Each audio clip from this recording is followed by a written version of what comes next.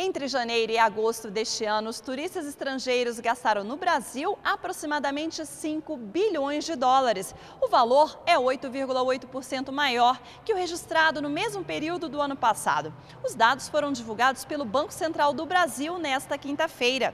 E de acordo com a Embratur, Instituto Brasileiro de Turismo, o bom desempenho se deve à realização da Copa do Mundo de 2014, que trouxe para o país aproximadamente um milhão de visitantes estrangeiros. Somente entre junho e julho deste ano, meses das disputas do Mundial no país, os turistas estrangeiros gastaram cerca de 1 bilhão 586 milhões de dólares.